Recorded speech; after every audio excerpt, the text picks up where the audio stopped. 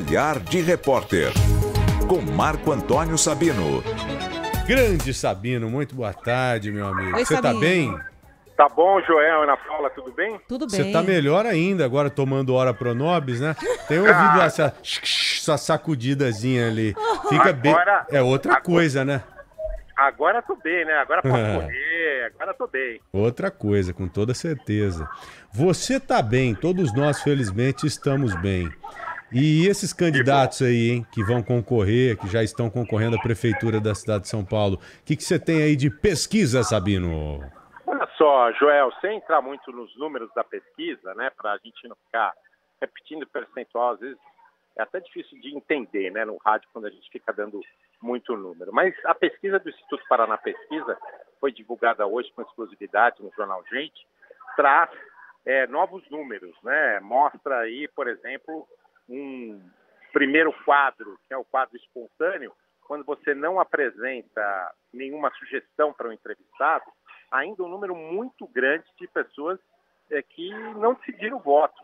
Somado aí o, o branco, nulo e ninguém e o não respondeu, são quase 75%. É um panorama suficiente para mudar qualquer eleição de longe. Né? Isso no quadro espontâneo, que é sempre a primeira forma que se avalia na pesquisa. Depois, você tem os dois candidatos principais ainda empatados dentro do critério técnico, ali da margem, né? com o Ricardo Nunes na frente, né? na frente de cerca de dois pontos, pouco menos de dois pontos, 1,6, na frente de Guilherme Boulos, que é o outro candidato. E aí depois você tem outros candidatos pontuando com bem menos número, talvez Tabata Amaral um pouquinho a mais, mas os outros perto de zero. Isso cenário espontâneo.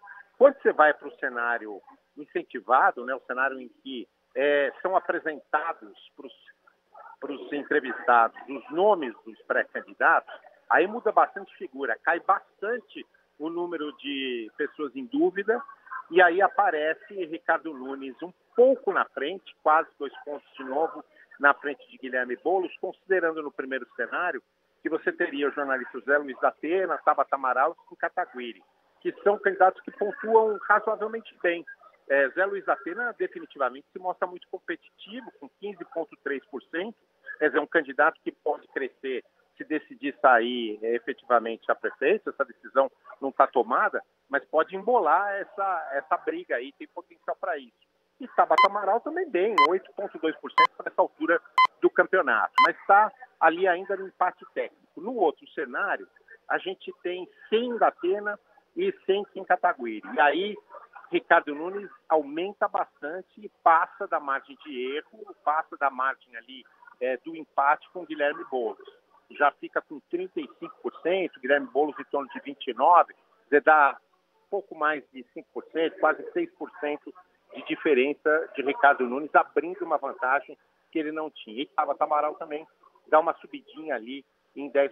Marina Helena, que tinha feito sete pontos, né, até sete pontos no último, na última eleição, e se falava muito que o nome dela tinha sido confundido com o nome da Marina Silva, da ministra, fica com 5,7. Também não é uma pontuação desprezível, não, uma pontuação que pode é, resolver a eleição também. Cinco pontos pode ser a diferença de um candidato é, para o outro. E em cenários de segundo turno, Ricardo Nunes ganha tanto de Tabata Amaral quanto de Boulos, de Tabata Amaral com vantagem maior, de Boulos ganharia com uma vantagem é, menor, mas não pouco significativa, de nove pontos percentuais. E no caso de um segundo turno eventual de Guilherme Boulos com Tabata Amaral, Guilherme Boulos ganharia de Tabata Amaral. Portanto, são os três candidatos principais aí, e ao que tudo indica, nós estamos muito longe de qualquer definição. A gente ainda tem muita água para rolar, mas Ricardo Nunes consolidando essa liderança. Alguns analistas acham que é muito cedo para ter um candidato ainda consolidando liderança. Mas, de qualquer forma, faz diferença depois para tirar isso. Até porque ele tem uma desvantagem, o candidato Ricardo Nunes, que ele é vidraço. Né? E ele, durante a campanha, pode sofrer ataques. É bem normal que sofra ataques aquele que tem a caneta na mão, aquele que está sentado na cadeira, por causa da própria gestão. É mais fácil, nesse caso, ser oposição do que situação. Mas ele abre aí é, uma vantagem importante. Está longe, vamos aguardar, mas essas são as principais conclusões dessa pesquisa hoje divulgada pelo Instituto Paraná Pesquisa, Joel. Boa, Sabino, muito obrigado, viu? Valeu, Grande abraço para você, meu amigo. Obrigado a vocês, abraço. Vamos para o intervalo? A gente já volta às 13h47. Esse aqui é o Bora Brasil e você na Rádio Bandeirantes.